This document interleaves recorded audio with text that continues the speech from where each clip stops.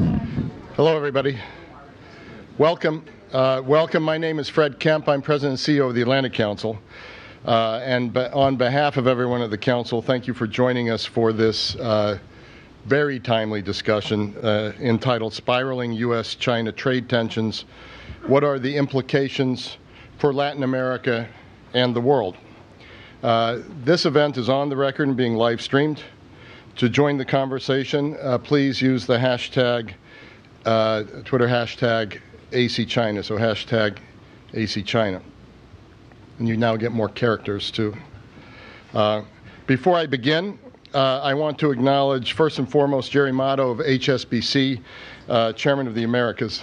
The, uh, there, there, was the um, uh, Jerry has been the the biggest compliment I give anyone as a recovering journalist is I steal his ideas, and so I've been turning to Jerry for advice and counsel on a whole number of issues, including uh, uh, the the politics, the finance, the economies of Latin America.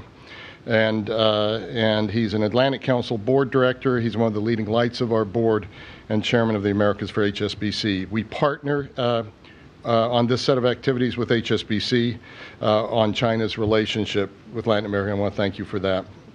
I also want to thank uh, Adrienne Arsht, uh, philanthropist and businesswoman extraordinaire, executive vice chair of the Atlantic Council's board, and founder of the Adrienne Arsht Latin America Center. We quite literally wouldn't be here if it weren't for you, so thank you so much.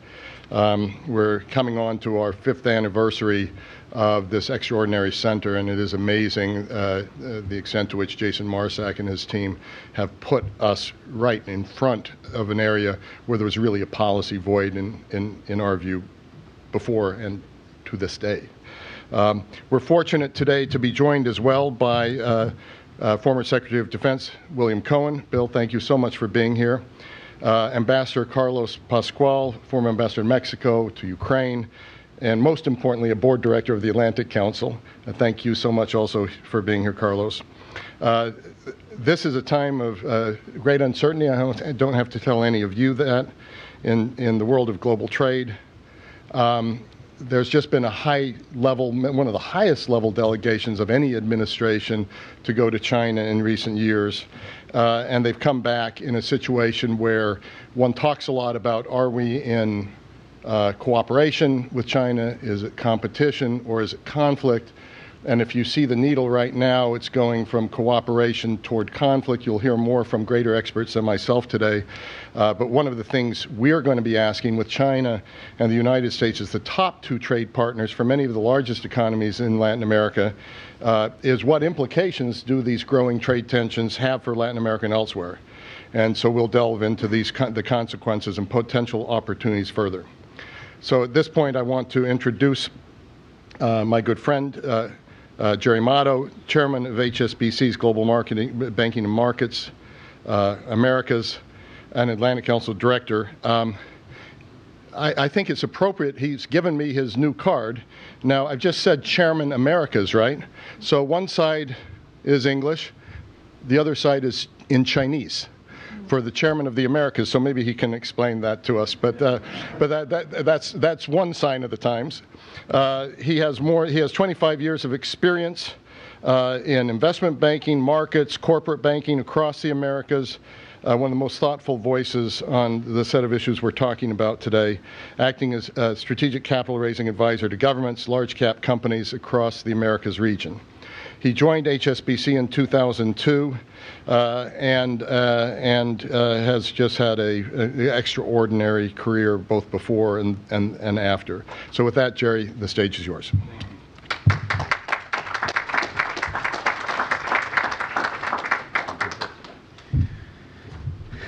So uh, thank you, Fred, for that undeserved and nice introduction. So we're very good trade partners because I also steal ideas from you. So thank you very much, and uh, good afternoon and welcome. Um, thank you for coming and being here today. I also want to thank Adrienne. Uh, without her, this will not be happening today. But it's a great pleasure to be here today for this important event, which uh, is Latin America and Asia and China, which is one of our two largest backyard at HSBC. This event is part of uh, a deeper look at China's growing role in Latin America. And as HSBC, we are very proud to be undertaking in partnership with the Atlantic Council. Uh, I'm proud of the work we have been accomplished with the Atlantic Council, and I'm looking forward to a number of joint efforts in the near future. I know there is much more to come. But this event, this event is particularly timely and impressive for the caliber of our speakers and the relevance of its topics. We have entered a period of uncertainty, and although the United States have shown some positive signs, such as going back to the negotiating table, we cannot be complacent. Our leaders must continue to show alternatives to compromise and seek fair and prudent solutions to the difference. Trade between China and the United States has increased from $120 billion in 2001 this is when actually China joined WTO, to $650 billion in 2016, and I know it's around 710 for 2017. This economic relationship affects businesses and consumers in far corners of the earth. A tit-for-tat trade war would have uh, far-ranging implications and create global economic uncertainty, leading to higher volatility in the financial markets and potentially lower commodity prices. It could also cause an acceleration of protectionist measures internationally. This is evident by the U.S. steel and aluminum tariffs, with other economies like European Union moving to put safeguards on global steel and aluminum uh, uh, imports. U.S. tariff and China will hit a lot of intermediate goods. Part of that goes into assembled capital and consumer goods, which could make some of the U.S. firms less competitive on the global landscape. On the main concern, though, is that this conflict will spill over into other parts of the world, including Latin America. The, I, the IMF latest World Economic Outlook was generally rosy, with global growth forecasts around 3.9% in 2019.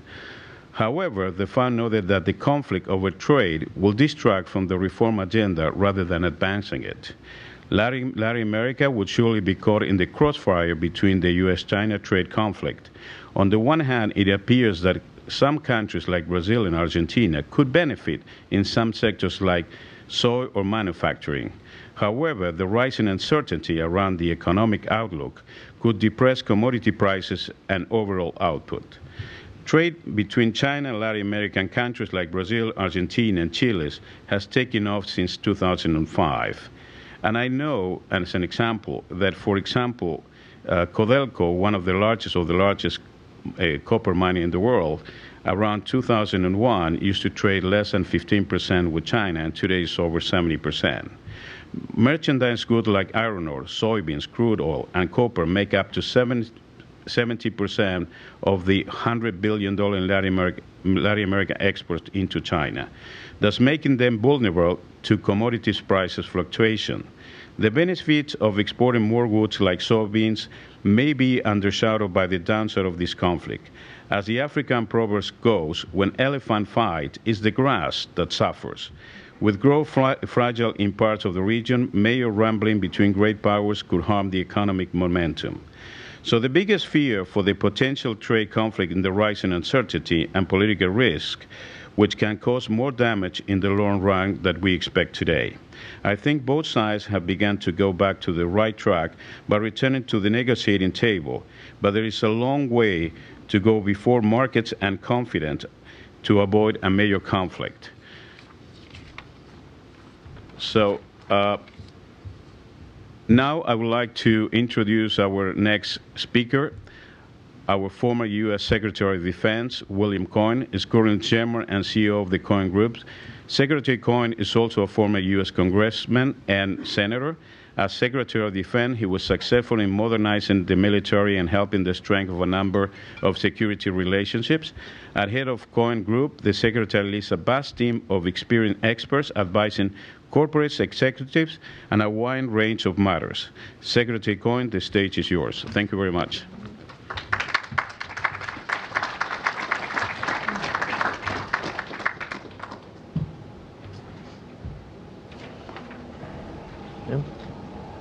I know you have a few remarks to make before we start with the way it's going to work. I have a few questions here that I prepare actually to make this more interactive. But after that, we will have five or seven minutes to actually uh, hear directly from the audience. So be ready. Uh, but Senator, if you want to introduce it, Well, some When a remarks. former senator says he wants to make a few remarks, um, I might take up the entire time. I will uh, uh, be very brief, however. Uh, I have been going to China since uh, 1978. So I celebrated my 40th year going to China most recently in the, um, it's now called the Beijing Hotel. It was called the Peking Hotel when I first went there. And it's an amazing transformation that has taken place. Um, I stand uh, in awe of what the Chinese um, people have been able to do in a period of 40 years. Uh, to see them go from a basically rural um, economy, agricultural economy, um, uh, in, and then to move into the industrial age in a massive way. Uh, and now uh, in a third stage of their development, uh, become one of the biggest, second biggest economy in the world is, is remarkable. But having said that, I think it's pretty clear to all that the, um, uh, the, the field is not as level as it once was. Uh, if it ever was uh, level, um, but now it's not level. And so while I may challenge the administration on various other policies, I think it's important that the administration challenge the Chinese in terms of their policies that they're pursuing today, and to do so in a thoughtful and strategic fashion. And so the question I have is not whether the administration is right in raising questions about the playing field being lopsided, but rather how to go about it in a responsible fashion to get it back on track so that everybody is, in the Chinese phrase, is, is, is in a win-win situation. So uh, at this point, uh, I don't feel the administration has a strategy for achieving that. I know what the demands are. I don't know that there's a strategy to achieve it. And I think, frankly, uh, the uh, stated objective of doing it within the next couple of years is pretty short term. Uh, I don't think it's possible. So, uh, in my own judgment, I think what we're seeing now is a, um, an economic Thucydides war playing out or a trade uh, war playing out in that uh, sense. The Chinese and the United States have been talking about let's avoid the Thucydides trap, where you have an emerging power uh, challenging an existing power. And the studies that have been done have shown uh, that out of 16 cases they've examined over the years, 12 of those conflict have resulted in conflict. So we need to avoid that, certainly uh, uh, in this age of ours where we have the capacity to blow up the world. Um, but now we're talking about it on a trade issue. So I, I welcome the questions uh, coming from my interrogator. Yeah, I have a, a couple of questions here, but I, I think I'm going to combine because they're all focused on the trade war that we're seeing today. So the obvious question is how this trade war will affect the different economies and the different products, and who, what, which economies are going to be affected the most. Well, I, I thought you uh, said it just right. I think it's the, the African proverb that said, when elephants fight, it's only the ground that suffers, the grass that suffers. And I think uh, you pointed out the grass uh, may be located in uh, Latin America as well as other parts of the, of the world. Um, uh, it's hard to say at this point which specific industries will be, will be hurt, but obviously the Chinese have reacted very quickly to when the president announced we're going to have tariffs imposed on aluminum and steel. Uh, the Chinese said, well, how about some uh, restrictions on uh, soybeans and sorghum? An arrow directed at the heart of President Trump's um, base, uh, the farming community, the, the agricultural community. So they are prepared to respond in kind. They'll do so in a much more targeted fashion. For example, when the president fired the first shot, so to speak, with uh, the tariffs on aluminum and steel, it was designed, at least verbally, to hit the Chinese. It missed the Chinese, but it hit the Europeans, it hit Mexico, it hit South Korea, it hit Japan, uh, but not the Chinese. And so now we have this waiting period of saying who's going to be exempted. So we haven't been exactly strategic in understanding before we take action, we understand the full consequences of it. In, our in this particular case, uh, if the Chinese respond, the farming community will obviously get hit. I assume the, uh, we'll see uh, action taken in the, um, the um, computer chip uh, industry. Um, Qualcomm has already uh, seen uh, what's happened in terms of its situation with China. So the Chinese will be very specific. They'll look where they can hurt the United States and do minimum damage to them. If they hit the agricultural sector, for example, they'll look to Brazil or Chile or other Latin American countries to come in and fill uh, their needs. So they will, but they will target their uh, reactions to uh, hurt the United States and try to minimize the impact upon themselves. Uh, but we're looking at the electronics industry, looking at um, high-end uh, technology going into China will be hit. Consumers here will pay more for goods. Uh, that means they'll be less likely to spend uh, more money, and the benefit of the tax cut will have been eroded by the consumers holding back. I think investors will be reluctant to make uh, investing decisions until they see some uh, level of equanimity um, settle uh, on the relationship. They'll be hesitant to take make the investments, and that will ultimately uh, hurt the um, um, the growth projections uh, of all the countries, including China's. So, as Secretary of Defense, how you see the relationship with between trade war and the uh, security conflict? Well, they shouldn't be separated out. Uh, the notion that we have that our military power can be separate, separate from our diplomacy or our trade and economic policy is a mistake. Uh, so I was very vocal about the need for the United States to um, sign on to the TPP, Trans-Pacific Partnership.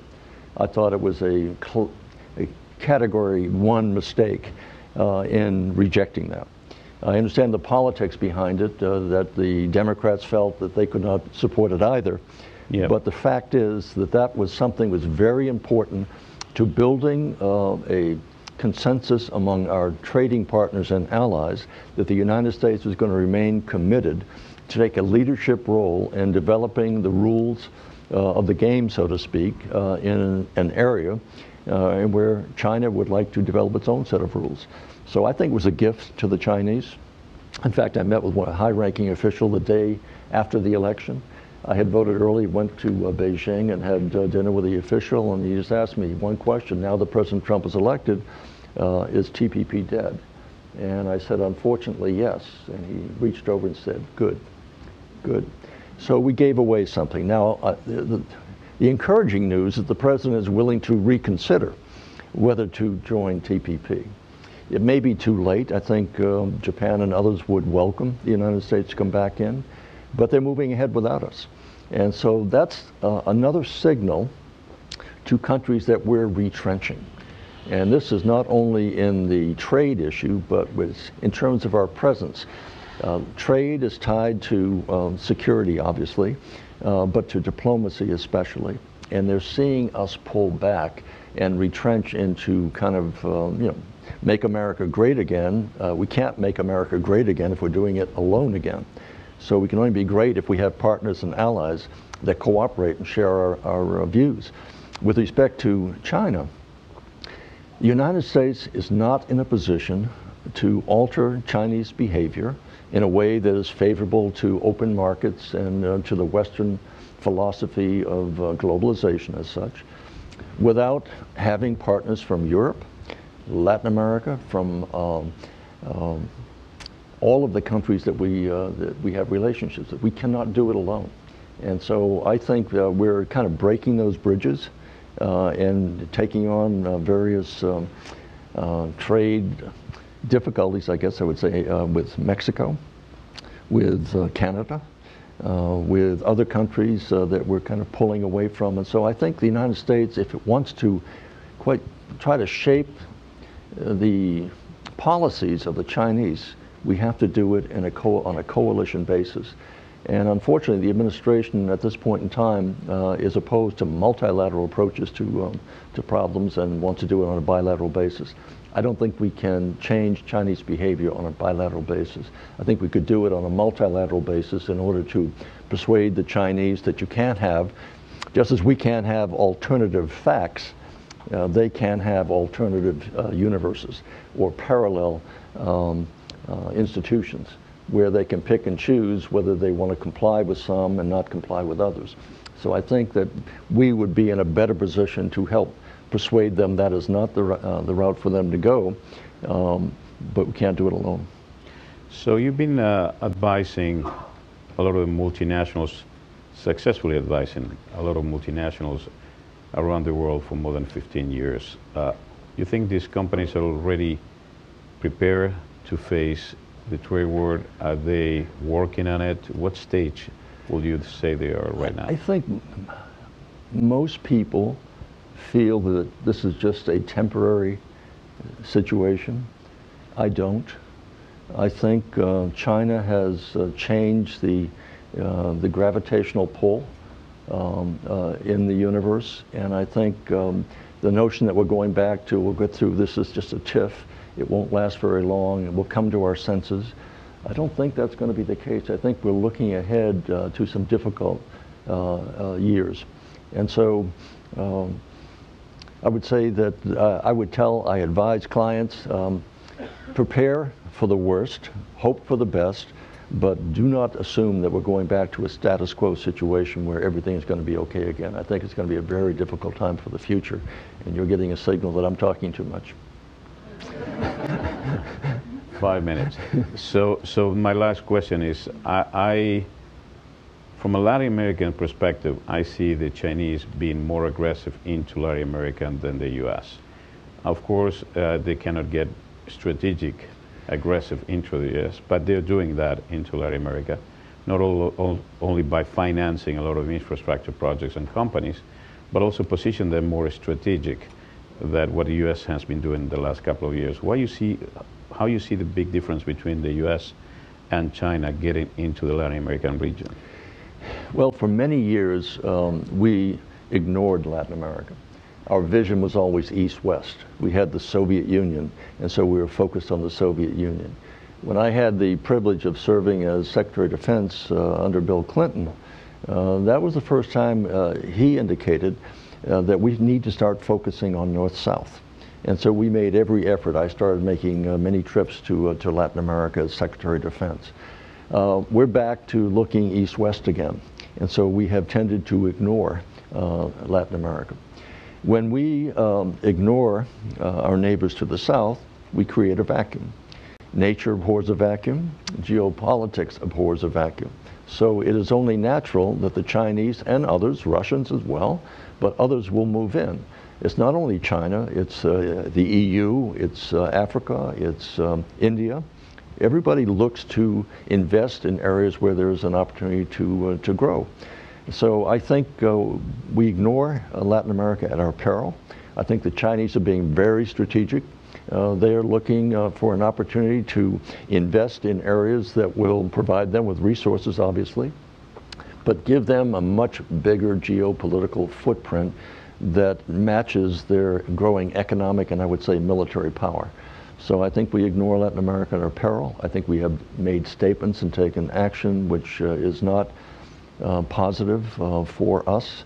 Uh, and I hope that there's a, a recognition that we need our friends and uh, the friends in our own hemisphere are, uh, are important people.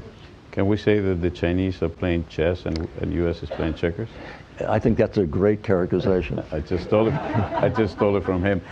So why don't we turn it over for questions uh, from the audience? I think that's fair. We have another five minutes. I just extended another three.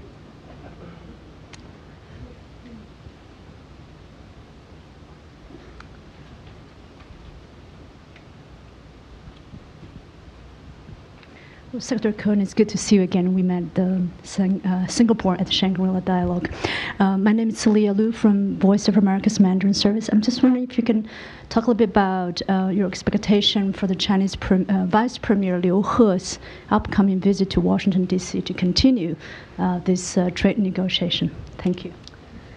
Well, um, I was in China at the China Development Forum most recently and I took the opportunity to talk to a number of administration officials before going over. And the message that was given to me is that we're through talking. Uh, we want to see action. And so I took that kind of attitude to, uh, to my Chinese friends, and their attitude was quite different. Uh, we want to talk, but if you're determined to engage in a trade war, we don't want it, but we're not afraid of it. So their attitude is one of growing confidence uh, in their political system, in terms of the concentration of power, uh, in terms of the economic power, which continues not at 11%, but 7.5 or whatever percent, still very significant. And their growing military power, and they feel that the United States, they don't say this directly, but I've had it said before, they look uh, with less admiration upon the United States. They look at our dysfunctionality, uh, that we can't make decisions. Uh, they look at our um, um, partisanship uh, in Congress. Again, stalemate, stagnation. Uh, they don't feel that our political leaders are um, um well versed in history and diplomacy. And uh, they feel that this is kind of their century and they're willing to work with, they need us in order to fulfill their goal of really bringing all their people into the middle class if they can. Um, but they are prepared to, uh, to take us on um, um, economically. I wouldn't say militarily at this point. I don't think they want any kind of a, a military war either. But they're building a blue water navy. They're building a military that will be global in reach. And so I think we're looking at a country that feels that its, its time has come. They have benefited from our transfer of technology or their ability to steal ideas, uh, as has been going on up on the stage here. Um, uh, so I, I, think they're, they're, they're very confident. Confidence is, is, is getting to be a little overconfident, but I think that's, that's how they feel. They feel that they're in a position to, uh, to persuade friends and allies to support their way of doing business. Uh, as opposed to what they look and see the Western world. It's it's chaotic. It's um, it's not uh, producing as they're producing, and they don't have the kind of uh, ability. We don't have the kind of ability to make decisions in such a rapid basis as they do. I think we have time for one more question before I get into trouble. Thank you. Hi, Secretary Cohen. Dan Erikson, uh, also from the great state of Maine uh, and I work with Blue Star Strategies. I was in the Dominican Republic last week, and I happened to arrive uh, the day after the DR dropped recognition of Taiwan in favor of China. Uh, and that decision has had some criticism here from members of the Senate and so forth. And I just uh, wanted to know, from your perspective, does the U.S. have any national interest in having a group of countries in Latin America and Central America continuing to recognize Taiwan? Or is this really something where every country should make their own decision based on their national interest in, and we don't have a dog in that fight? Thank you. Well, the short answer is I think every nation has to make its own decision. Um, in the United States, I think if we were to become an advocate for this, uh, we are inching closer and closer to a red line for the Chinese. I mean, I have been going there, as I mentioned, for 40 years. Uh, there's one issue that has never deviated from the dialogue in which um, uh, I engage in, and that is that we have a one China policy uh, and that we have a Taiwan Relations Act. The Chinese have never fully accepted the rationale that we've offered for that, um, but they've accepted it. We uh, don't provide Taiwan with the kind of equipment that would be offensive in nature. Uh, we support a peaceful reconciliation but not any through uh, the use of force. That has been our posture for all of these years. To the extent that we change that and encourage others, as well as ourselves, to start recognizing Taiwan as an independent country from uh, mainland China, I think the Chinese see that that is a red line that we would be crossing with consequences uh, uh, I think that we don't want to see. So it's up to each uh, country. Uh, obviously, the Chinese will use their economic leverage to dissuade other countries from recognizing Taiwan that's what they've been doing, and they will continue to do that. So each country will have to make its own decision, but I don't think we should be advocating it. I think we just stay out of it. So there, I know there are more, much more questions, but uh, I don't have time for that. Before, I'm looking here at the faces like you don't have to.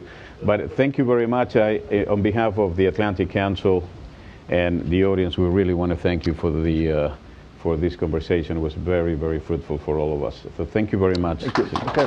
Thank you.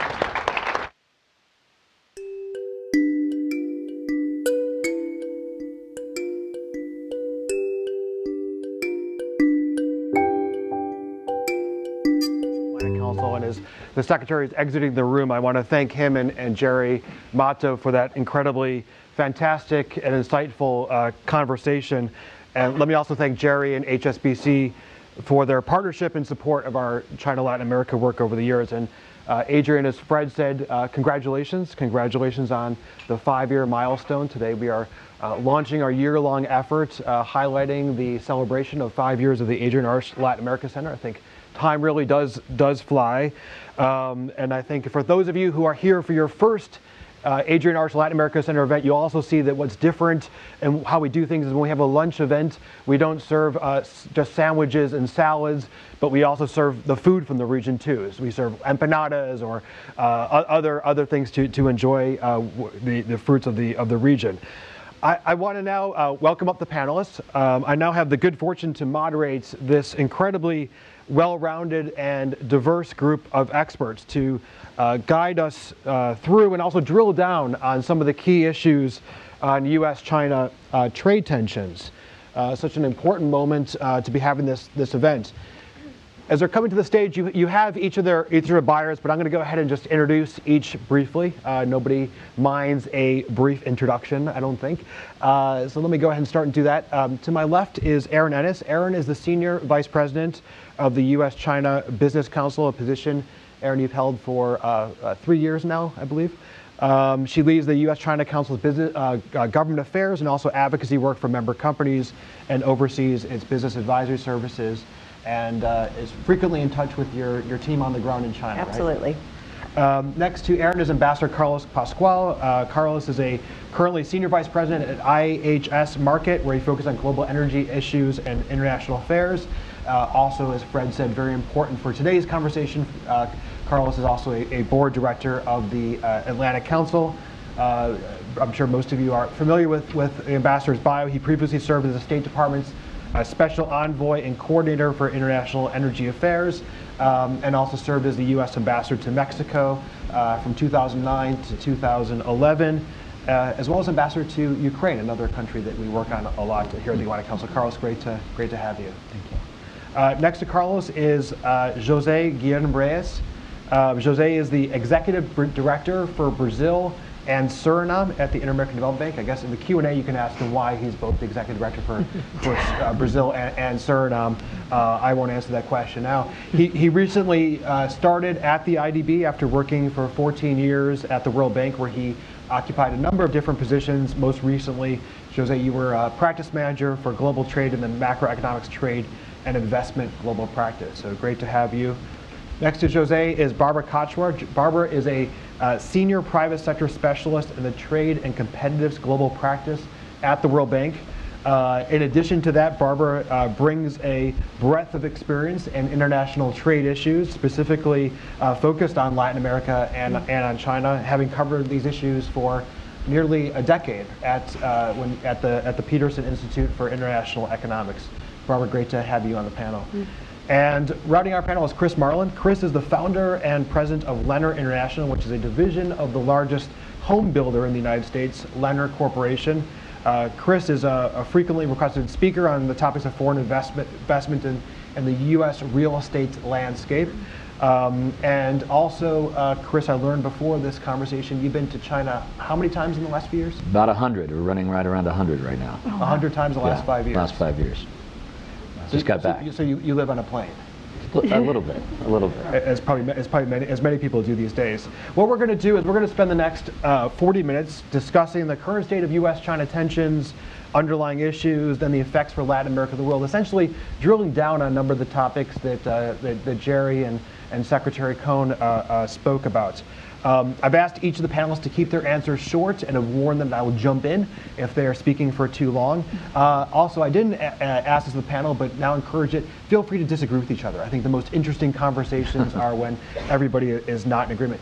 And, and we're going to leave. We'll leave plenty of time for questions uh, from every from everybody in the audience at the end. Um, Erin, you're sitting next to me, so I'm going to ask you the first question. Uh, President Trump has focused a lot of his criticism of China on uh, unfair trade practices. Um, uh, Secretary Cohen was talking beforehand with Jerry on the, uh, uh, the, on the lack of a level playing field. Uh, the president has sent a number of tweets about this as well. Um, uh, most recently, earlier this month, uh, calling out the, the U.S. losing $500 billion a year uh, to China and, and saying that that can't continue. Last weekend, uh, a very high-level delegation, uh, Secretary Ross, Secretary Mnuchin, USTR Lighthizer, uh, among others, uh, uh, returned from a trip to China to try to uh, find common ground on the kind of heated rhetoric between Washington and, and Beijing. An easy question for you. Was that trip a success? um, probably on the most basic standard, the fact that they actually sat down together in the same room marks that trip as a success. Uh, whether they actually got any outcomes that are of value, I would say all evidence right now is not so much. Um, it's highly unusual in these circumstances for the public to see the negotiating documents that the two sides had. And last Friday, both documents were leaked. And what we can determine from that is that the two sides are still pretty far apart. But despite the fact that they didn't have any specific outcomes in that meeting, I really do genuinely think that the fact that we are now at a point where the two sides are sitting down and at least laying out on paper what they want, hopefully now trying to whittle those down into realistic outcomes that would both address the real concerns that American companies have in China, but also recognize that we have to have measurable outcomes on these things to build trust between the relationship. If we're moving towards that, it was a success. Okay, so, so it, was, it, was, it was not the, the, the full success we could have wanted, but it, neither, was, neither was it a failure? Correct. It, was, it was both. Carlos, what we, um, on that point, neither success nor failure, um, what is your sense, Carlos, uh, of the international reverberations of the brewing trade tensions? Uh, you know, not just the U.S. and, and, and, and, China, but as we were talking about previously, uh, what happens between uh, the two elephants is, is, felt uh, among in the grass as well. What, what is your sense of the re- international reverberations? Are we start, already starting to see reverberations of, the, of, those, of those trade tensions? I, I think most countries are trying to understand how big it's going to be. Um, Jerry, uh, your conversation with Secretary Cohen, you raised the, the concept of a trade war. And what countries are trying to understand is, is this going to become a global trade war? Which has repercussions internationally and affects the regimes of free global trade internationally. That is going to have an impact on global GDP and is negatively going to affect anybody, everybody. Or is this going to be something between the United States and China where we'll damage one another, we'll perhaps take off a fraction of a percent of GDP growth in each of our countries. It'll affect certain constituencies, as Secretary Cohen was saying, like the agricultural constituencies but everybody can li live with it. And that difference is phenomenal in depth and impact on what happens in overall economic growth. It also has a direct impact on how others play into it. There may be moments of opportunity, for example, um, in other parts of Latin America, Brazil, largest trade partner um, for China. So does this become a trading opportunity for them? In the short term, that can be an opportunity. If you have a broader global trade war, which is affecting global demand, then it's not so much of an opportunity. So we're really at that crucial point right now of trying to understand how big it's going to be, how far it's going to extend itself.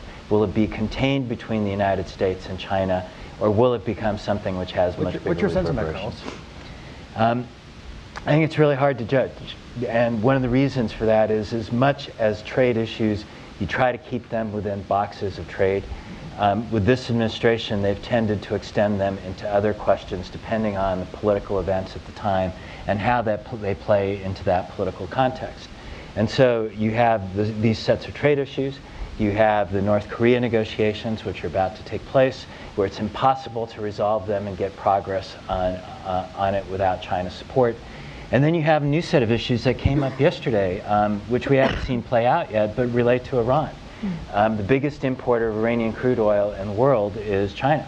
And the two entities that now handle the finance and the imports of Iranian crude oil into China were actually sanctioned long ago under previous sanctions. And so they can actually keep on importing because actually they've been sanctioned yeah. already. Yeah. Right. And so does that continue and does it create another point of leverage and tension? And so all of these issues are really going to start playing into one another. And while they may not be explicitly on the table at the same time, when in the end they come back to the Oval Office and you get the impact and the impression of the president and what his attitudes to are toward China and how he's going to direct his team on how they respond. In the past, what we've seen is that that whole spectrum matters and it doesn't just become one issue. And I, and I want to ask that question to Barbara as well. But first, let me just get the, the thoughts from the audience. Uh, just a quick, a quick poll. We're going to do it in a uh, uh, non-technologically savvy way, just raising your hand. Who, who thinks that this is going to become a full-blown global trade war? One person. Okay. who, who thinks that this will, that will, have a, will have a trade war, but it will be U.S. Uh, U.S.-China contained trade war? Okay, a few more. And who thinks it's just rhetoric and uh, and everything will be worked out? Probably the most most hands for, for that last that last question. Um, Bar- Barbara, Barbara, uh, given the audience's perspectives, what um, but Carlos just described the potential global reverberations. Um, first, do you do you share the same view as, as, as the audience uh, uh, shares on, on these topics? But also, what do you see as some of the, um, the global effects on the effects more specifically on global trade uh, if if this does become a, a global trade war, but which which which I think the only one or two people in the audience who, who thinks that might happen. But well, so I feel somewhat comforted by the audience um, perception that this is not going to be a global trade war, but Secretary Cohen has already told you that you're wrong in that perception um, and that it may be a, a bigger issue. Um, I don't think that this can be contained to, you know, if it does actualize, if, if, if the actions that are being threatened do turn out, it, it would be very difficult to contain it to US and China um, just because these are major powers and they are such important parts of global value chains. So anytime that trade relations between major powers devolve into a game of trade chicken, um, the region, the, the world trading system has to worry, and there are a couple of reasons for that worry. One is the price effects. If you know, Jose and his team have done tremendous work on looking at global value chains and looking at the impact of this. Hmm? X team, sorry. I think they still consider themselves your team, and your name is still on all of these publications. You just the bank a, a, a so, month ago. So. A month ago, exactly, at the bank. Um, and, and others have done a lot of work looking at the impacts of global value chains and how interlinked everything is, goods and services, and all of the countries in the world. And so the breadth and depth of global value chains indicates that if you increase the price of an input, then the component price is going to go up, and that component is a part of a final good. And so consumers are going to lose, whether it's US consumers, Chinese consumers, and consumers all around the world. That will obviously have an impact on jobs, and as we're looking at, particularly in developing countries, a crisis in future jobs and youth unemployment, this obviously becomes worrying for political stability as well as economic stability. The other reason for worrying is the global trading system, the WTO rules, are set out to mitigate trade tensions. They're set out to mitigate the actions that countries take to protect their economies using trade tools, and so quotas, which have more nefarious impacts than tariffs, are banned and tariffs are managed. But all of this depends on countries' trust in the system. So if the major players start doing things outside of the system that obviously have an impact on everybody else, then that system is at risk. Very, very good point. I want to, Jose, I want to go back to you on Brazil. Uh, Barbara mentioned it, Carlos mentioned Brazil as well. But first, uh, uh, Chris, um, getting, I think, getting to a, a, a, getting to a deal around these tit for tat uh, tariff threats is, is probably, I was critical from a, from a business perspective. Um, Secretary Cohen mentioned in, in, his opening conversation some of the uh, effects uh, of, of, the effects, uh, the, the, the, targeting on, on farming, the uh, computer chips, um, and the real specificity in which uh, China is uh, potentially going to be levying tariffs based on what happens in discussion with the U.S. If these tariffs are implemented, what would be, Barbara's talking about the consumer effects as well, what are, what are the, the implications for you from a business perspective? how concerned are you? Um, how does it, how would, how, what, how would this affect your industry, but also maybe other industries that you would, you would see as, other sectors you would see as standing to lose? Sure. Um, I mean, just the rhetoric alone has already had an effect. Um, eh, eh, you know, uh, I think Secretary Cohen talked about how uh, the brand America is, is, maybe not looked upon um, by the Chinese as, as, as functional or as, as uh, shiny, perhaps, as it once was. And I think that's absolutely right. And in the U.S., you know, it's sort of a chaotic business system where everyone's sort of doing their own thing. In China, and we've already seen this uh, as the rhetoric amped up, and I was at the Boao Forum for Asia uh, during the middle of, of all of the initial rhetoric, the first 72 hours or so, you know, the Chinese are, are not uh, as chaotic as we are in the method and manner by which they proceed from a business perspective. So already you're seeing Chinese businesses that may have been considering doing something in the US not because the policy has changed. And so whereas before they might want to do something in the US and also participate in China's Belt and Road Initiative, um, which is a very important central policy program. Uh, now they'll, they'll say, you know, I really just need to focus on the Belt and Road Initiative. Yeah. Whereas before, Which is the Belt and Road Initiative for those who don't aren't familiar. So the Belt and Road Initiative is, is you know, put, put grandly, uh, the Chinese government's desire to reinvigorate the original Silk Road at a historical level, but at a very practical level, it is a massive investment in infrastructure by Chinese government, Chinese SOE state-owned entities, and other Chinese concerns from Western China all the way into Central Europe, uh, including tentacles in Africa and the Middle East.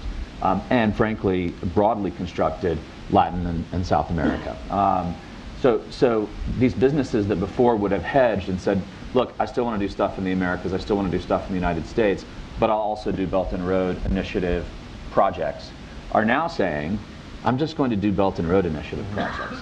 And you can already see this manifesting itself in business conversations. Uh, Jose, um, what would be the what, what, does this mean for Brazil? I mean, uh, uh Brazil, China, uh, U.S. or sorry, China, Brazil trade. Uh, China became Brazil's largest trading partner uh, about seven years ago, somewhere around there. we recently put out today an infographic that looks specifically at uh, Brazil's exports to China versus Brazil's exports to the United States. You see uh, Brazil exports about five or six billion dollars more to, mm-hmm. to China than, than to the United States. How does it, is this, how does a potential trade conflict, and if we do have a full-blown trade conflict, what does this mean for a country like Brazil that is really actually dependent upon both the United States and China for so much of its, of its commerce? I mean, the, the impacts can be huge, of course, uh, uh, and considering only uh, the trade war uh, confined to U.S. Uh, China, it's enough uh, uh, of an impact in terms of Latin American countries and Brazil in particular. Just to give you some figures, um, one third of Brazilian exports go to these two markets combined. 35% of Brazilian imports come from these two countries. So, so a trade war or a tra- escalation of trade tensions between these two countries have uh, potential uh, potential impacts on, on, countries like Brazil. And quite frankly, many countries in Latin America have, uh, with of course differences in terms of size, the, the, same a, a, similar pattern. I mean, we have the U.S. has been the, the, the the usual trade partner uh, uh, for, for, Latin America for, for decades, and China is the emerging one, right? So, so yeah, there are potentially very large impacts. I think uh, whether they will be positive or negative, uh, it's anyone's guess. I mean, I, I think. What, uh, what's your guess? I mean, uh, there, there can be opportunities. Uh, think of a, a, a, bilateral tariff on soybeans uh, from China and U.S., and of course Brazil would benefit from this. But can, they can be negative. Think of U.S. and China agreeing to reduce their bilateral trade deficits uh, and uh, China switching their their demand from Brazil to, to the U.S. as a way to increase imports from the U.S. So, so at this point, I think it's very difficult. What uh, I think uh, a country like Brazil and many countries in Latin America are doing is to really think seriously about diversification. And, and, this is, diversification is key in, mm-hmm. in trade in general, precisely as a, as a way to mitigate risks. And uh, the way to do it is to explore new markets. Brazil has been, Brazil and Mercosur have, have been uh, negotiating with the EU for, for years already. And I think there is a strong encouragement to, to, to, to really uh, come to a conclusion of this negotiation because this will be a huge trade agreement, and, and others could come. Japan, Korea, Canada, etc., etc. so there are there are some very interesting initiatives taking place on a policy level in Latin America and in Brazil in particular. And interesting you brought up the Europe point as well, because as you say, you know, the, the European Union and Mercosur have been negotiating for what about tw- two decades, uh, uh, th- this, this this trade accord. Um, but you know, there's another meeting later mid-month in Paraguay with the EU and Mercosur, and so this there it seems like there's been some momentum because of this quest for diversification, as, as you point out. Yeah, there is, and, and, and I think, and, and one point that I wanted to, to add here, and a little bit using my previous hat and, and actually supporting what uh, Barbara said, I, I, I think that one main concern, and this is true in Latin America, those of us who were at the WTO ministerial in Buenos Aires in last December saw this, is, uh, is the impact on the uh, rules-based trade multilateral system. I mean, what, what this will mean in terms of this, the functioning of the system, which uh, I think uh, we all agree that has been a major improvement in trade rules. So, Erin, I'd like to go back to you on some uh, helping us to answer some of these questions that have, been, that have been thrown out. And I think the other uh, another big question out there is: Is there a way? What, what's the Is there a way to de-escalate the situation? Um, what what is the path forward? I mean, you were mentioning in your opening comments that this was neither success nor a failure. At least they've agreed to continue talking.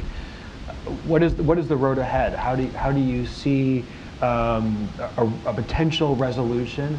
Uh, and also, along with that, who has the upper hand? Does China have the upper hand? Does the United States have the upper hand? Does neither neither neither country have the upper hand as they look toward a solution? Uh, I think definitely no one has an upper hand at this point. I mean, as we have found uh, with many things with this administration, the key point is to look at what they are actually doing rather than what they are saying. Forget the noise of what might be in tweets or other things. The, the administration launched an investigation into China's intellectual property and technology transfer policies. It has not done anything to implement those outcomes yet, but it has proposed tariffs of potentially up to, to 50 billion, 150 if we're going for the full escalation on it. China has not uh, responded to that other than to say if the US goes 50 billion, we'll go 50 billion. But they also haven't implemented. That, again, to me is a sign the fact that they are recognizing they want to work through these issues. And I think there are ways to resolve them. It has to be specific. Um, the solution cannot be to think that we can tell China that they have to end all subsidies. I don't think that any of our trading partners would ever agree that a mm-hmm. foreign government could tell us what to do with subsidies. And as long as it's within the WTO rules, then frankly, we don't have any recourse to tell them that they can't do it. Mm-hmm. But there are ways that things need to be structured so that they aren't unfair to the system. Mm-hmm. I do want to come back to one of the points that uh, Barbara and Jose made, though, on this, and that is I think that the risk here goes well beyond just US China relations at the fundamental core of what the United States is proposing for action with China are some things that should cause us all to ask questions about whether we have the rules to govern these things. On, on intellectual property rights and technology transfer, the basis of the case that USTR has made is that everything, with the exception of the one WTO case they filed on a very specific program, is outside of WTO rules. Intellectual property rights and technology transfer all of China's policies generally not covered. Hmm. If we are in agreement on that, then at a minimum, that suggests that we should be hmm. trying to get rules that cover these things. If we, if we all agree that China's policies aren't right, and if they are covered, then we need to be considering what the what the path forward is. Similarly, on the actions that the administration has taken on aluminum and steel, they seem to be moving towards uh, having partners either have tariffs on their exports to the United States or put a quota on what they're doing.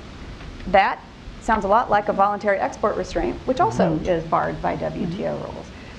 These are the kinds of things that we need to keep in mind that even if we think that this could be contained to a US China dispute and the tariffs going back and forth, it does have implications for the broader system that we really need to be thinking about. That's, that's, a, that's a fantastic point.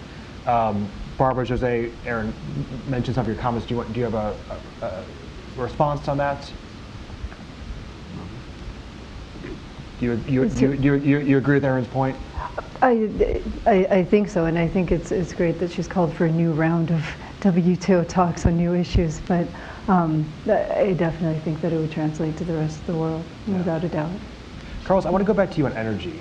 So um, you, you, you served as the State Department's special envoy uh, for uh, international energy affairs. This is uh, uh, an issue that you know like, uh, uh, like the back of your hand.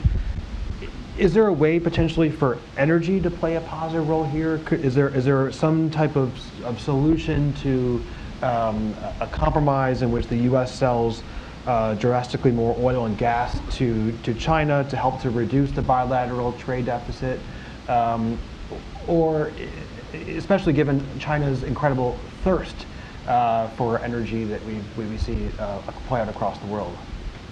Um, I think the role of energy is potentially helpful, but it's not necessarily a guaranteed solution. Um, US LNG in um, China is um, at the marginal point cost uh, of the curve in competitiveness. Um, it's far cheaper to buy um, LNG from Qatar. Um, there will be other supplies available that are quite competitive um, it's going to cost the United States, uh, a U.S. supplier, somewhere between 8.50 and 11 dollars per million BTU to be able to be um, to be able to get to that market. Um, and so, um, whereas, let's say after Fukushima, where the cost of LNG, the LNG prices skyrocketed and were somewhere in the range of 17 or 18 dollars per million BTU China was crying out for the United States to get to the capacity to be able to export LNG, to be eligible to import it. Um, Japan was crying out for it. India was crying out for it. Um, a couple of things have happened. One is that there's just a lot more LNG in the market, and prices have come down, and it's a much more competitive market. And secondly, what used to be very much of a regional market is increasingly inching toward becoming global. And so um, it's, it's helpful, yeah. but uh, frankly, it's not a panacea. Yeah. Well, if, if these tensions continue, Chris, um, what, what other tools do you see the Chinese using to, to push back against the United States? Are, have they deployed their, their uh, full arsenal at this point, or is there a lot that's, that's, that's waiting for? What, what, does that look? What does that look like? What what what, what other kind of uh, potential yeah. tariff threats and actual tariffs and and, uh, and implementation could we see? And what would be the effect specifically on, on the business community? Well, that, I think look, they have a tremendous amount of dry powder. Um, and I, I, won't comment specifically on the tariff scenarios because I think it would manifest itself in other ways, mm-hmm. right? Um, so there are lots of Chinese laws, for instance, that aren't regularly enforced in China. And if the Chinese government decided to enforce those laws, uh, that would have an immediate impact on many kinds of businesses, uh, both in the U.S and in China that are focused on the U.S. Give us an example. Um, expatriation of, of dollars, um, uh, currency controls. Um, th- that's, a, that's a very high level example, um, but one that uh, typically um, the Chinese government hasn't uh, enforced much of that. Um, and if they put their foot down and decided to enforce it, that would have an immediate impact not only on the U.S., but also in Latin America. Um, and, and that's just one example. Um, I think another uh, example, and, and, to bring the focus sharply on Latin America, you know, the, the, Chinese have a multi-billion dollar hospitality project in the Bahamas, a multi-billion dollar road project in Jamaica, a multi-billion dollar power generation project in Honduras, a multi-billion dollar uh, airport uh, project in uh, Antigua and then combined with, with Panama. When you go to the Panama City airport, the biggest advertiser is Moutai. When you go to Buenos Aires, the tallest building in town, sorry, is ICBC. And, and, and the list goes on and on. um, and, and, and so that's, that's just been drips and drabs. Yeah. Um, a concerted effort to really encircle um, commercial interests in the Americas hasn't occurred. So those are just two examples of, of what the Chinese might do outside of tariffs.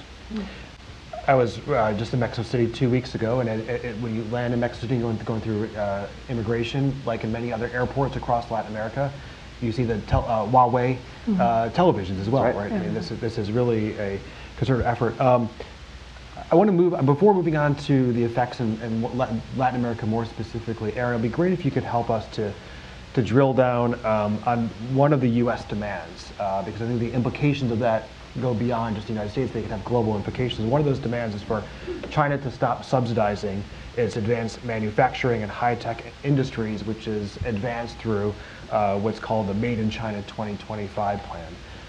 If you could explain uh, kind of how that, not only how that plan works, but more, more, more specifically, how do those subsidies work? And why is this such a concern uh, uh, to, the, to the U.S. administration? Sure. So Made in China 2025, China um, likes to plan far in advance, and the policy in general set targets for several sectors that China wants to be a global leader in. In order to achieve those goals, China has directed funds to be put into these industries to help those industries develop.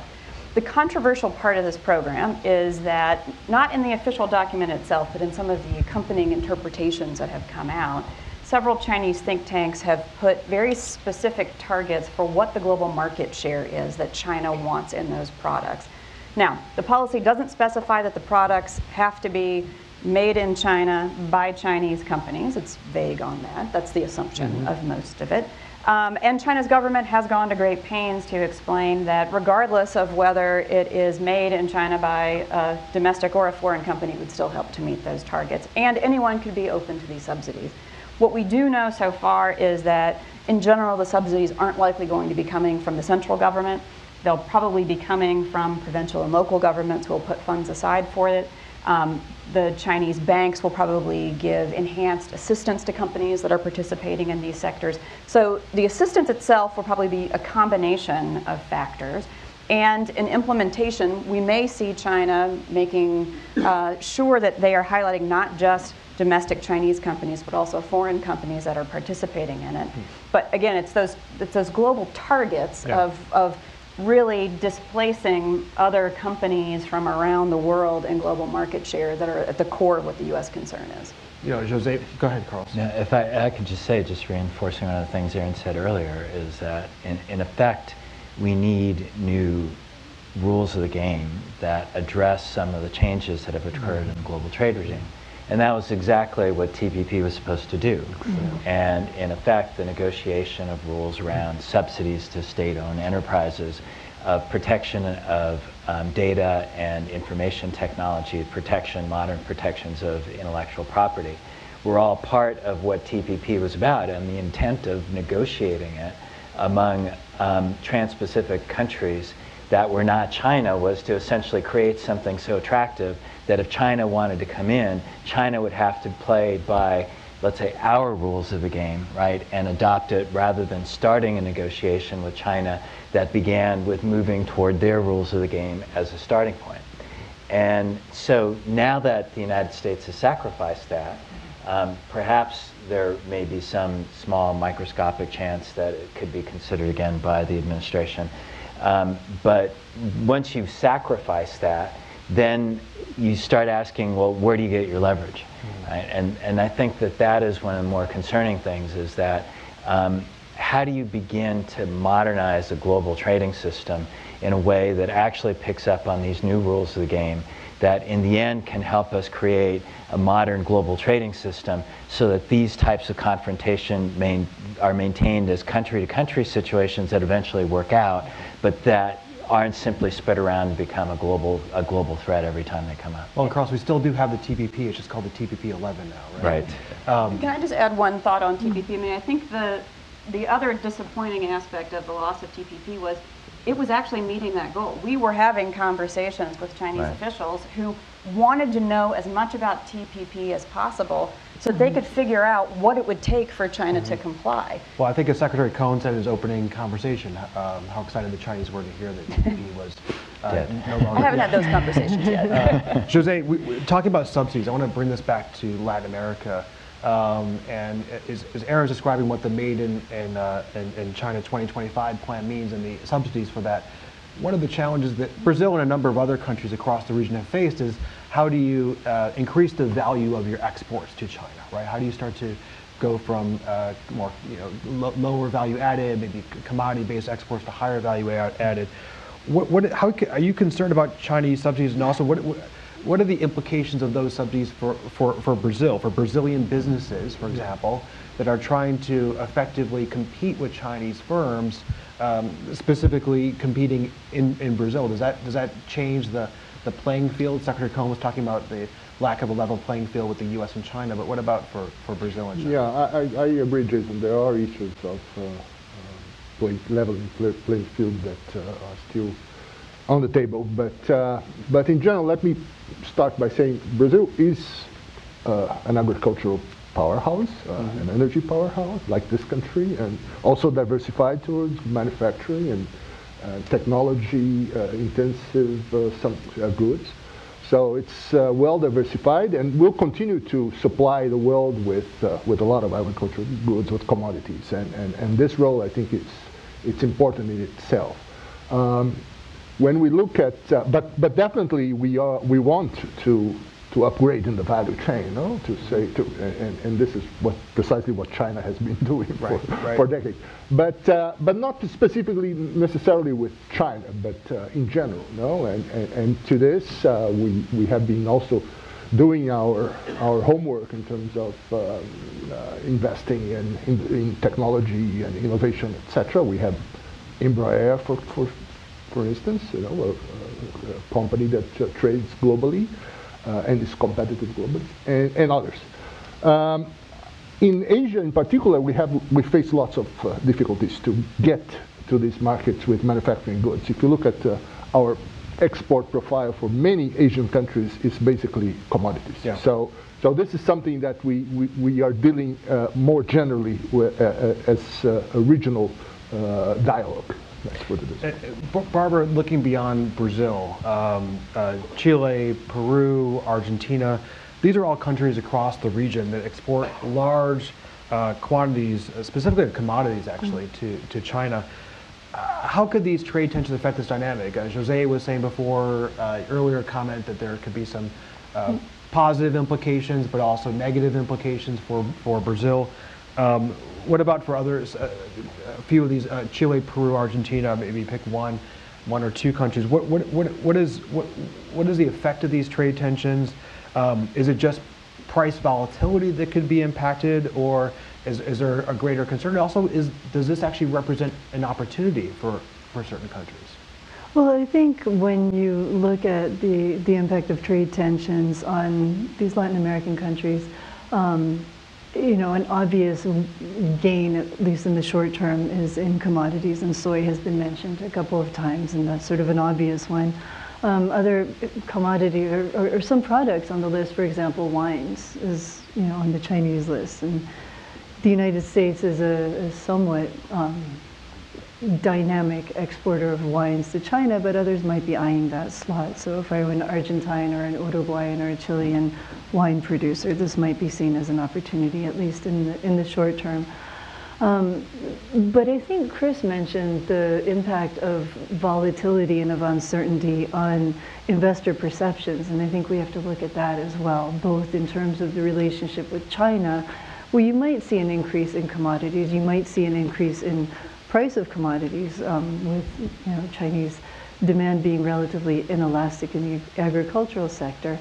Um, but I think that especially if you look at Latin American countries are also increasingly outward investors. And so Brazil has massive investments in the United States, for example, as does Mexico.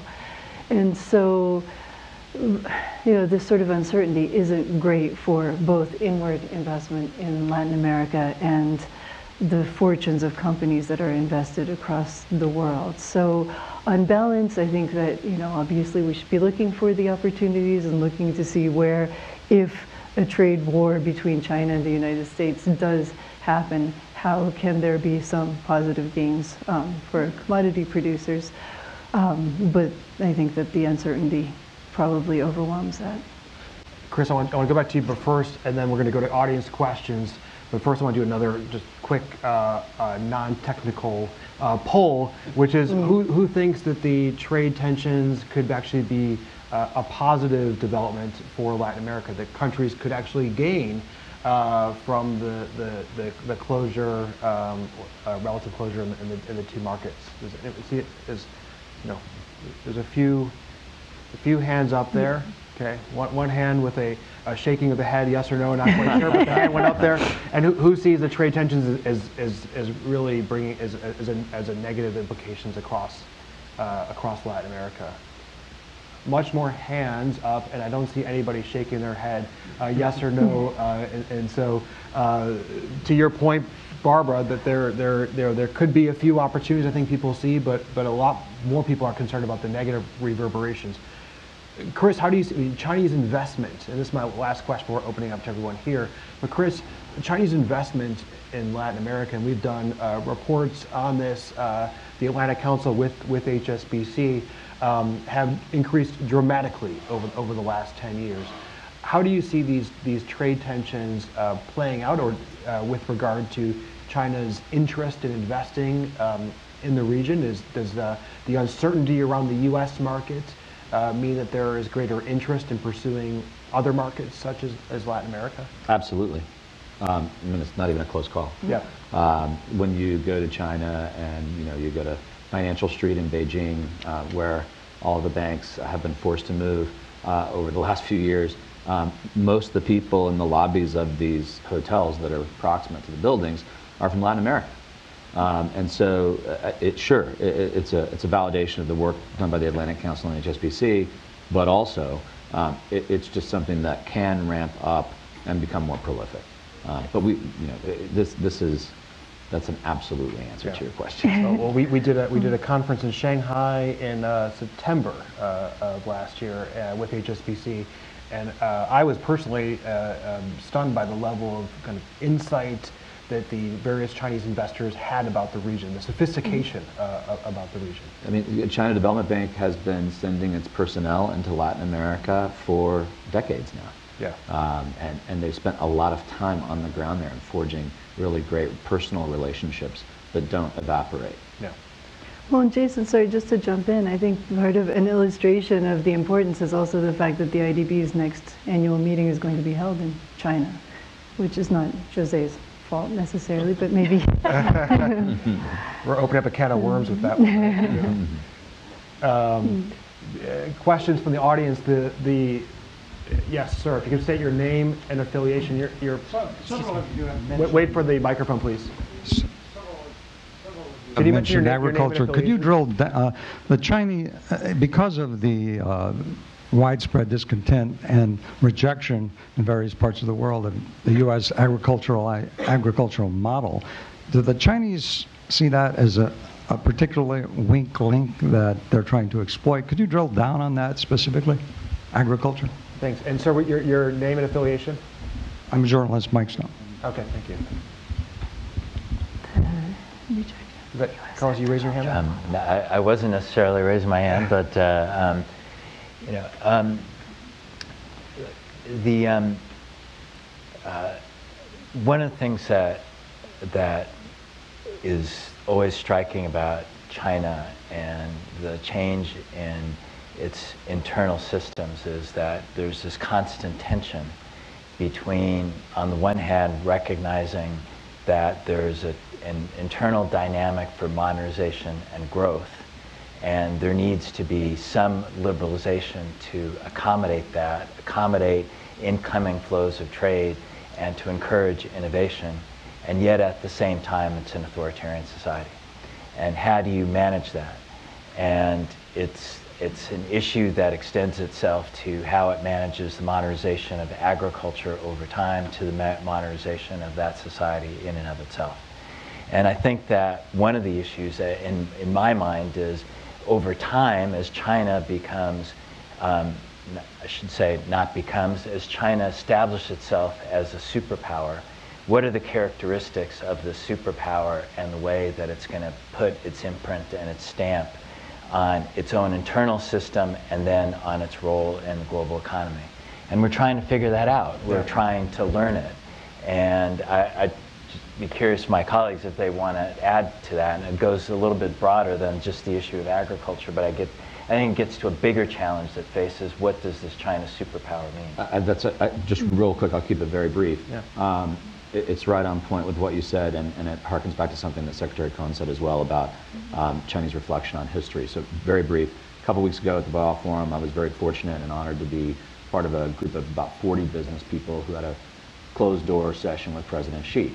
And in that closed door session, he spoke extensively about this tension that you just identified and an appreciation for Chinese history with respect to this tension and the mistakes made historically in China by being closed in this regard, making it very clear that it's his desire not to repeat what he referred to as embarrassments that resulted in the impoverishment of his people for um, you know hundreds of if not thousands Yeah, of years. right. Um, and so there is a tremendous amount of reflection, I think, going on in China on that very point. How did people walk away from that meeting? Um, you know, it was incredible. Uh, there were 26 Chinese business people there and 14 of us who were not from China. Um, so Europeans, non-Chinese, and, and I don't think there was anyone from Latin America in the meeting. But having said that, it was, you know, it was a dialogue. It wasn't a conversation. So, um, so, but I think people left the meeting with a great sense. And remember, this was happening about four days after a, a Trump tweet storm on, on trade. Um, so the whole world was talking about this was at the beginning of the rhetoric. Um, but I think people walked away with the notion that um, you know he's dialed in, uh, President Xi. He is absolutely focused on not misstepping, and to the point made earlier, it is absolutely chess on their side. Yeah. Uh, there's another question all the way in the back. You have the last row, but the second question. Hi. Uh, Alberto Hart from the Embassy of Peru. Um, at the recent IMF uh, World Bank spring meetings, the uh, uh, Committee on Financial and Macroeconomic Policy on Latin America, they pinned down that the main risk uh, wasn't on the trade side, but mostly on the financial risk side. So I wonder if you could talk a little bit more about that. The idea being that every time the world gets a hiccup, uh, financial assets in Latin America which are among the higher risk ones, uh, there tends to be a flight from risk. Now, we've done quite a bit of work during the last 10 years to make our assets less uh, prone to risk, but I wonder if you could comment on what kind of headwinds we could f- face. Thank you. Great question. Good question. Um, May I? Please. Uh, I think uh, in Latin America, we are feeling already this uh, headwinds, uh, as we know qu- quite well. And uh, I, I, I don't think we can pin down that this comes from the trade war or from, I mean, it comes from the changes that are taking place in, in the world, in, in this country and, and in the world more generally.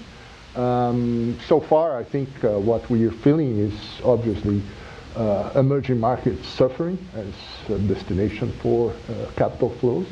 Uh, but uh, I think that, quite frankly, the position that we have today compared to a few years back is, uh, uh, I think it's much more comfortable in the sense that you have, um, by and large, floating exchange rate regimes. You have uh, uh, built uh, international reserve, foreign exchange reserves in many, many uh, Latin American countries. So you are in a much better position to, to, to cope with this, with this headwinds. Thank you. Yes. My name is Ross Dayton. I'm an independent analyst, and I wanted to ask uh, what consequences do you think China could face for investing in countries such as Venezuela or Nicaragua, and how could that could impact the this trade war with the United States? Thank you. I can Vene- start. And Venezuela is a, a issue that we are very heavily focused on here at the Atlantic Council. Do you want to speak to it? No, please. We'd all be curious on your views. Um, look, uh, obviously China has been one of the largest investors in the Venezuelan oil sector, and um, what we've seen is a systematic collapse, not only of the country but the oil sector as well. Um, a country that, what, uh, 18 months ago was producing about 2 million barrels of oil a day, already significantly down from what it had been in the future. Um, today it's producing maybe 1.4, 1.5 million barrels of oil a day, and many analysts think that that could go down as low as even a million barrels a day by, by the end of this year. Um, and um, in and of itself has reflected the lack of confidence that the international community has had in both investing in Venezuela um, and the ability for them to sustain it. Um, China and Russia have been two of the countries that have been significant investors. Um, the, the investment arrangements that they've generally had is to get commodity in return. And so, one of the things that's actually doing right now for Venezuela is that to the extent it complies with those investment agreements, It's actually shipping crude oil in return to China to, re, to repay its debt, and Venezuela is not getting cash. And so the irony is that in the near term, um, actually complying with those agreements that they've had with China has been actually a stress on Venezuela when it's actually um, as cash savvy or cash distressed as it is. Rosneft has been able to reach uh, an agreement with Venezuela um, where on one particular project they're going to be marketing their product directly and taking the revenue in directly. Um, Venezuela essentially accepting those terms because it has no other alternatives for investment. Um, so one of the things it points out is that when you enter into these types of trade relationships, where um, and investment relationships, when there is an investment in a commodity, and the commodity then becomes the actual payment mechanism, um, certainly it um, it eliminates a certain degree of risk in the value and the fluctuation of the price of the commodity but it can also put you in a situation where it leaves you cash starved into the future. And that's one of the things that I think many countries are actually looking at more generally, not just in Latin America, but uh, around the world. is it smart to enter into that kind of a relationship, or do we want to keep things on a cash basis that become more transparent over time? And on the Venezuela question as well, there's also uh, um, uncertainty as to whether Venezuela is actually paying the Chinese back mm. uh, all the oil that right. it says it's paying them back, and whether both sides might be turning a, a, blind eye to that. Mm. You also now have the added added risk of, of uh, PDVSA uh, tankers now being uh, um, uh, confiscated in international waters because of the ConocoPhillips decision uh, just right. this past week.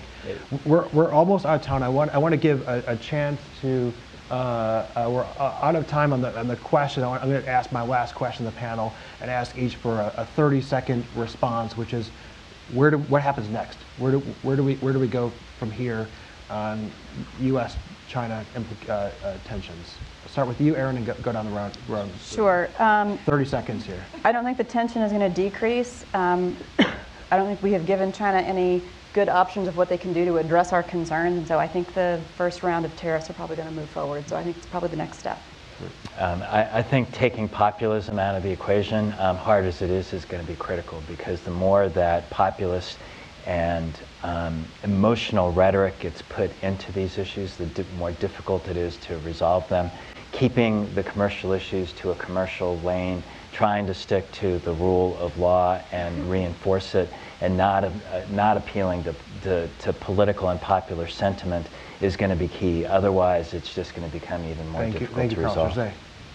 Uh, as uh, Secretary Cohen said uh, previously, uh, I think uh, we have to prepare for some difficult times, hoping for the better.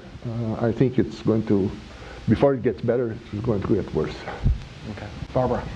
And I think Latin American countries have to be opportunistic in seeking um, opportunities from this and maintain and bolster the buffers to policy uncertainty. Chris, I always like to end discussions on a positive note. Barbara started that. Uh, so you got to finish this. I was going to say, I think I agree with everybody. It's not going to look good for a while. Sorry.